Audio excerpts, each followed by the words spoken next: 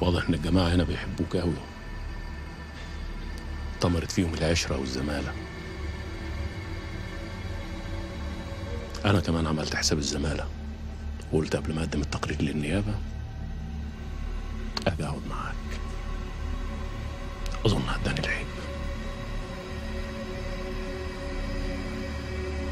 أنا صلاح الطوخي من سمعت عنك كتير بس عمرنا ما اتقابلنا طيب.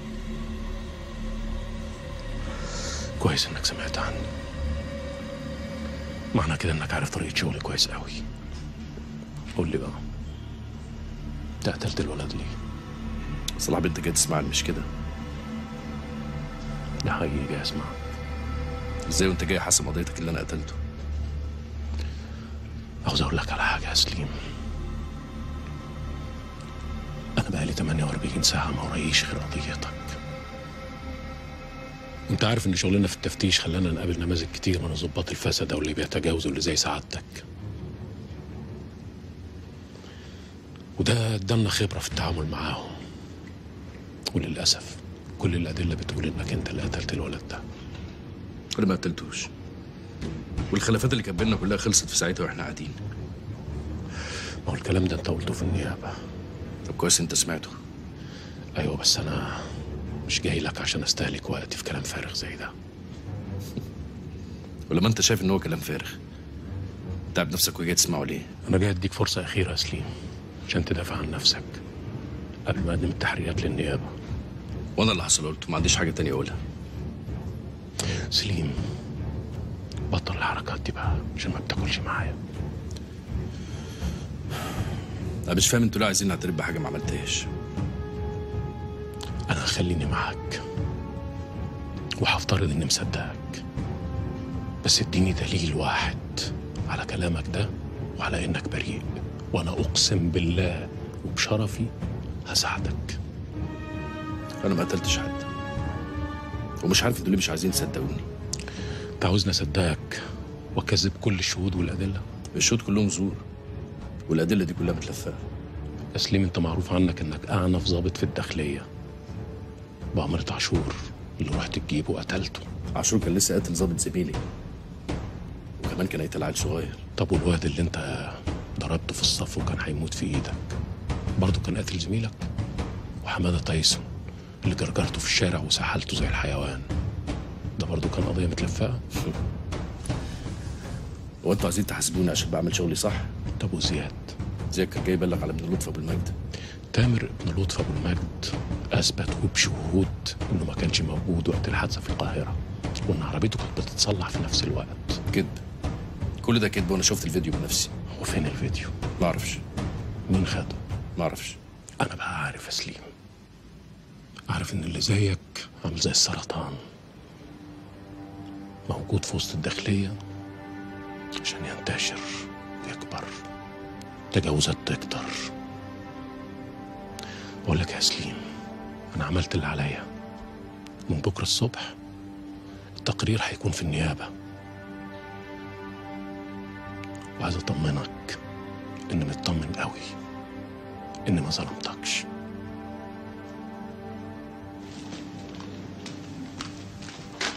لا مؤاخذة يا فندم محدش بلغنا ساعتك النهارده.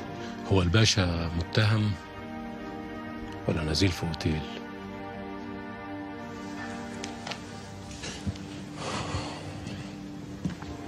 على فكرة هبعت بكرة حد من التفتيش يفتش عليكم ولو التجاوزات دي كانت موجودة هتحولوا كلكم للتحقيق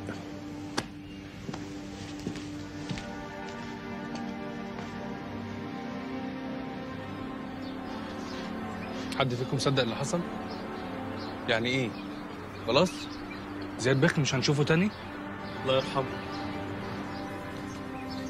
هنقعد نعدد ونولول طول النهار مش كده؟ إحنا في ايدينا إيه يا ابني نعمله؟ في ايدينا كتير نقلب الدنيا نفضحهم نخلي كل الناس تعرف اللي حصل لزياد حكايه مش سهلة كده يا عم رامي ما أنا عارف يا مصطفى إنها مش سهلة بس برضه إحنا مش قليلين ولا زياد الله يرحمه كان قليل من بكرة الجامعة لازم كلها ما يبقاش وراها سيرة غير زياد وفيسبوك وتويتر لازم يتقلبوا يا ابني جامعة إيه اللي أنت عايز تقلبها؟ ولا فيسبوك وتويتر بالسهولة اللي انت متخيلها دي. خصوصا إن كل واحد فينا كل اللي عنده هو كام friend وخلاص. يعني من الآخر يا عم رامي نبقى كأننا قاعدين بنفضفض سوا كده على القهوة. بقول لك يا هيثم بس بس. كفايه إحباط بقى والكلام اللي بتقوله ده. قلت لك إحنا مش قليلين على فكرة. وبعدين إحنا مش لوحدنا. يعني إيه مش لوحدنا؟ بقول لكم إيه؟ إمبارح بالليل بعت كذا حد من مشاهير ال social media بتوع فيسبوك وتويتر. الناس دي وكذا حد فيهم متحمس جدا. عايزين بس يعرفوا إيه اللي حصل وشوية معلومات عن القضية هيشتغلوا عليها. معلومات إيه دي؟ مات إزاي؟ إيه المشكلة بينه وبين الضابط؟ نسبة ان إن زياد كان ليه نشاط على ال social media؟ عشان كده قتلوه. بعدين؟ وفي حاجة تانية مهمة جدا. النهارده بالليل في هاشتاج هيظهر اسمه سليم الأنصاري بلطجي. على بكرة إن شاء الله بإذن الله هيبقى ترند في مصر ويمكن الدنيا كلها.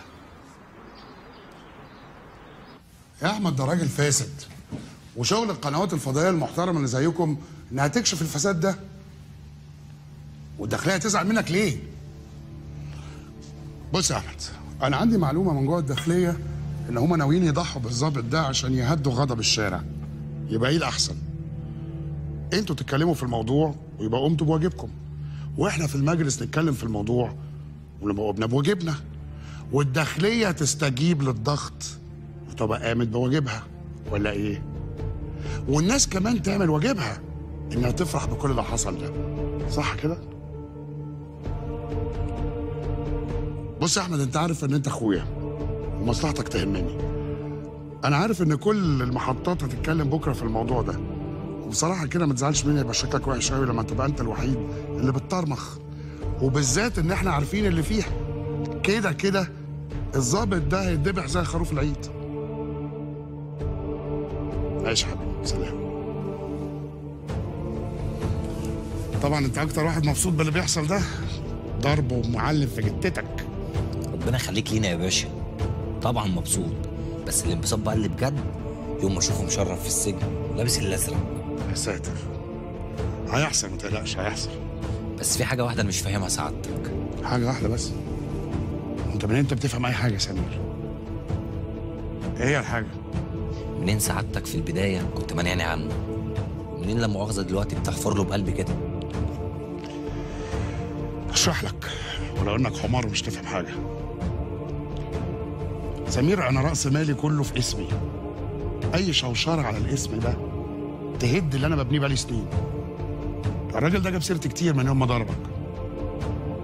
أحسن حاجة تعملها عشان تهد الكلام ده إيه؟ إنك تهد في اللي قاله. ساعتها الكلام ده كله ما بقاش له قيمة. يعني واحد مرتشي وقتال قتلة. لما اتكلم عني أنا حد هيسمعنا لا طبعا. فهمت بقى أنا بعمل كده ليه؟ طب وسعادتك ما عملتش كده من الأول ليه؟ عشان مش حمار زيك. ساعتها كان هيبقى شكلها مفضوح. رد فعل اللي هو بيقوله.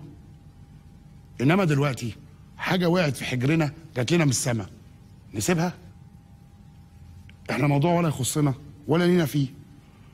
إحنا بنعبر عن نبض الشارع. عن الناس اللي انتخبتنا عشان نكون لسانهم.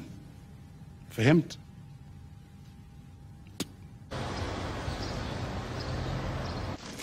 دول كأنهم بيغشوا من بعض. كلهم بيتكلموا على سليم وكاتبين نفس الكلام. ربنا أكبر من الكل يا بنتي. أوي يا ماما بس هم كده بيحاكموه حتى من قبل ما الحقيقة تظهر. ربنا يستر بقى وما ياخدوش بكلامهم بكرة في النيابة. معقولة يا سلمى يعني؟ النيابة هتاخد بكلام الجرايد يا بنتي؟ أنا عارفة بقى. ده كله غير فيسبوك وتويتر. كله بيفتي وخلاص. كلهم بيتكلموا على سليم كأنهم شافوه بعينيهم. بكرة إن شاء الله لما الحقيقة تبان كل ده مش هيبقى له أي قيمة. انت مش بتقولي المحامي طمنكم آه بيقول ربنا يعدينا منها على خير. أخبار خطيبك إيه؟ معقولة يختفي في الظروف اللي إحنا فيها دي؟ لا هو بس عنده شغل كتير يعني في البنك الفترة دي فبيفضلوا مسهرين لحد بالليل. طب حتى يسأل علينا بالتليفون. فريدي محتاجين حاجة. ما هو بيكلمني. بيكلمني على طول وبيقعد يطمن عليا وكده. أنا بس اللي مش عايزة اتعبه بعدين انت عارفة يوسف يعني ولا بيحل ولا بيربط وبيغرق في شبر مية. ربنا يرجعك لينا بالسلامة يا سليم يا ابني. وما يحوجناش لحد غيرك ابدا.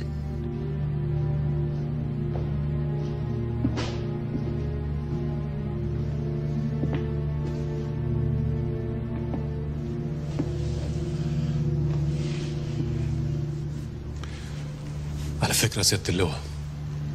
أنا رحت عشان أسمعه عشان أديله فرصة يدافع عن نفسه. وأحس إن ضميري مرتاح وإني ما ظلمتوش. لكن هو اللي على نفسه.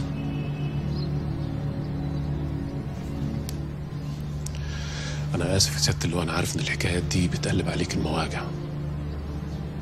لكن أنت عارف كمان إن أنا ما بعملش أي حاجة في حياتي غير لما باخد رأيك فيها. وعايز أقول لك على حاجة كمان يا سياده اللواء. طول ما أنا في مكاني ده مش هسمع لأي حد في الدنيا يحصل له اللي حصل لك.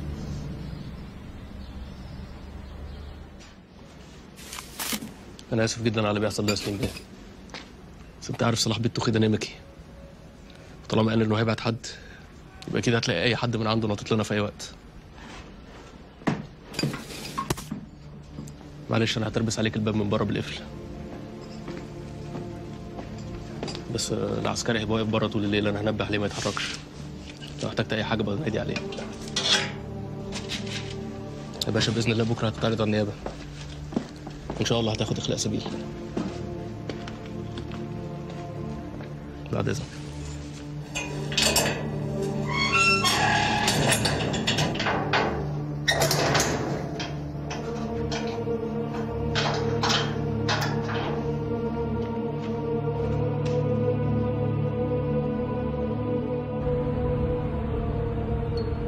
يعني انت مطمن للكلام ده صلاح وواثق فيه؟ يا فندم الموضوع واضح تماما. مفيش فيه أي لبس. وفكرة إن العالم كله متآمر عليه دي فكرة ما تدخلش العقل. مفيش عليها أي دليل. ده غير يا فندم إن إحنا كده هيبقى شكلنا وحش قوي قدام الرأي العام وقدام النيابة. خصوصا إن إحنا مقدمين محضر في صفه. وأنا أنا عارف إن المحضر ده مش هيساعده قوي يعني في النيابة. لأن النيابة مش هتعترف بالمحضر ده لأنه لا يعبر إلا عن صفة صاحبه. عندك حق طبعا. أنا قلت أقدم آه، لسعادتك المحضر الأول قبل ما أوديه رسمي للنيابه ماشي. أنا موافق. متشكر يا فندم. بعد إذن سعادتك. اتفضل.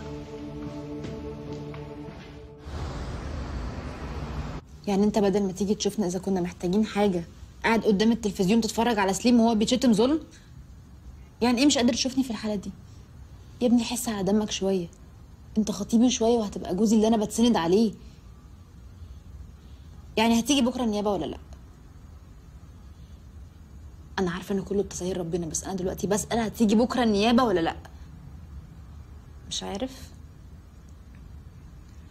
خلاص أوكي يوسف. متشكرة جدا.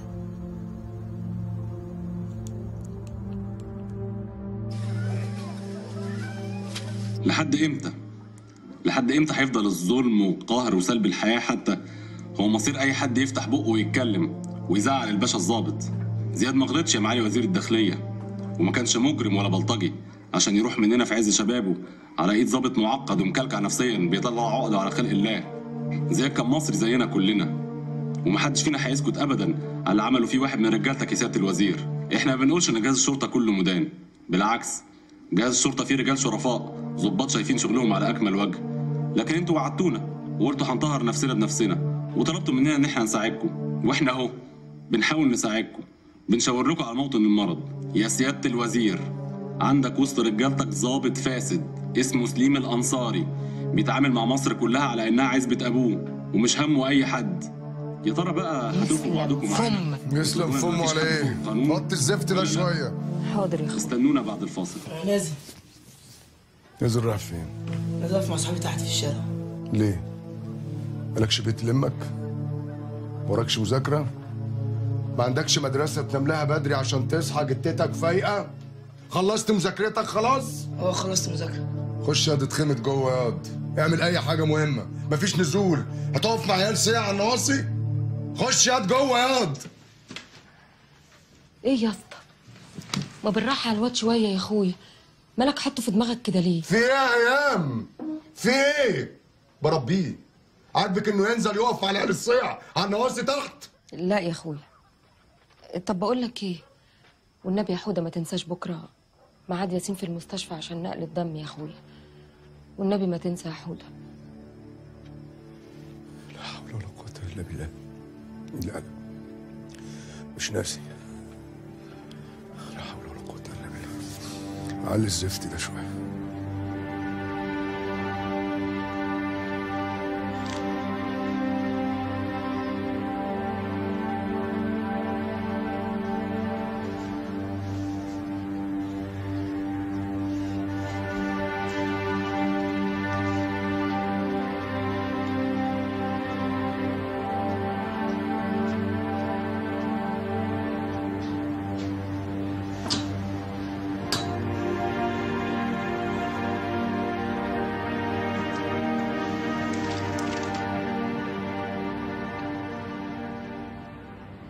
إيه يا أنا حاكلك يا جحش ولا إيه؟ قطع لساني يا حاج. ده اللي عندك يزيد ما يقلش. بس أنا المؤاخذة عملت اللي عليا وزيادة حبتين. ولحد دلوقتي اللي خط أبيض ولا أسود. ما تتلم يا زناتي في إيه؟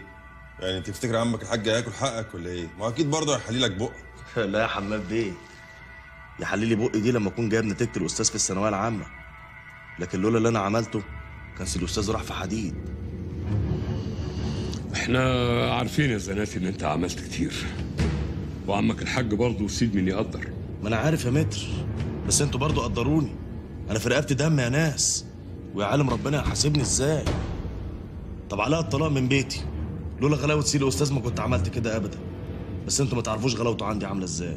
هات من الآخر يا زناتي. عايز إيه؟ مليون جنيه.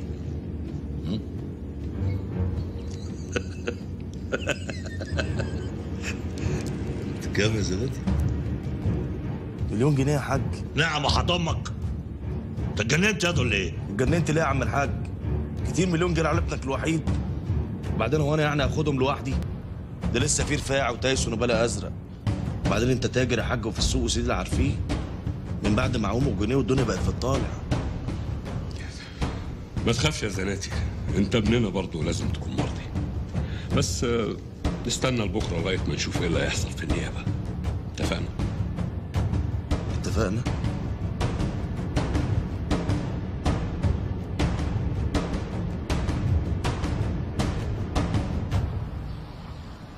استغفرك وأتوب إليك يا رب. استغفرك وأتوب إليك يا رب. ما متأخرة كده ليه؟ يا ماما أنا بدأت أقلق على سليم. ما هو سلمى المحامي معاه المرة دي أكيد بيحاول يعني يتصرف. إن شاء الله إن شاء الله بإذن الله هيروح معانا. لا إله إلا أنت سبحانك إني كنت من الظالمين. لا إله إلا أنت سبحانك إني كنت من الظالمين. لا إله إلا أنت سبحانك إني كنت من الظالمين. لا حول ولا قوة إلا بالله العلي العظيم. لا حول ولا قوة إلا بالله العلي العظيم. ما الراجل الظالم مش مستكفي باللي عمله فيا؟ كمان مش عايزني أدافع عن نفسي. حسبي الله ونعم الوكيل. حسبي الله ونعم الوكيل. خايفة يا إبراهيم لا يعمل حاجة في بنت من البنات. تخافيش.